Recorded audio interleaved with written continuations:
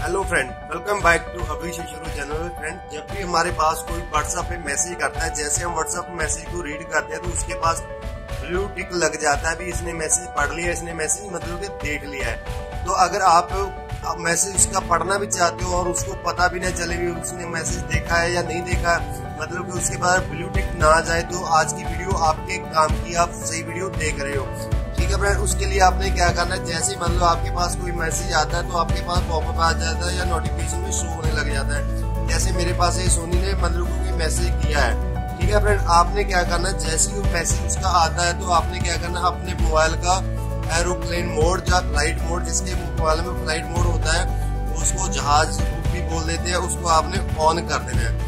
जैसे आपने ऑन कर दिया, उसके बाद आपने उसका जो मैसेज है, उसको आपने रीड कर लेना है। आपने देख लेना है। ठीक है फ्रेंड जैसे आप देख लोगे, आपको पता चल जाएगा उसने क्या मैसेज भेजा है क्या, आप आपने पढ़ भी लिया। उसके बाद आपने क्या करना है, उसका जो ऐप है, उसको बंद कर देना मतलब हटा देना है नोटिफिकेशन मतलब कि जो करंट ऐप हमारी चलती है, उसे हटा देना है। हटाने के बाद आपने क्या करना है एरोप्लेन मोड को ऑफ़ कर देना मतलब हटा देना है। इसके इसके क्या होगा फ्रेंड इससे मतलब उसको पता भी नहीं चलेगा। आपने मैसेज पढ़ लिया, आप चेक करके देख लेना। उसके पास कोई ब्लू टिक नहीं जाएगा। आपने मैसेज रीड भी कर लिया, है ना? बड़ी माल की ट्रिक उम्मीद करता फ्रेंड आपको ये वीडियो पसंद आई है तो मेरे चैनल को सब्सक्राइब